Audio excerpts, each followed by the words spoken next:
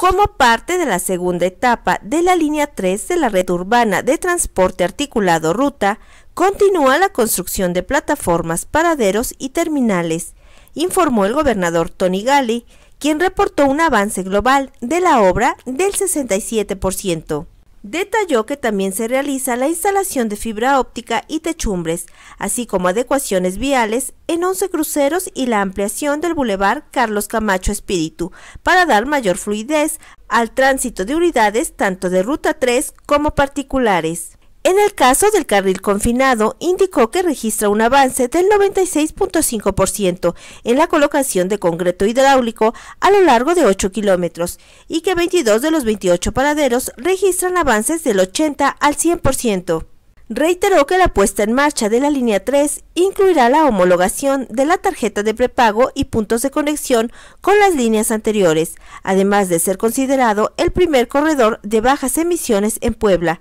ya que las 72 unidades funcionarán con gas natural e incluir paraderos ecológicos. De manera directa, el corredor de 15.3 kilómetros beneficiará a más de 273 mil personas en 97 colonias, entre ellas San Francisco Totimihuacán, Centro Histórico, San Baltasar Campeche, Loma Linda, Xonaca, Chula Vista, Prados Agua Azul y Santa María la Ribera.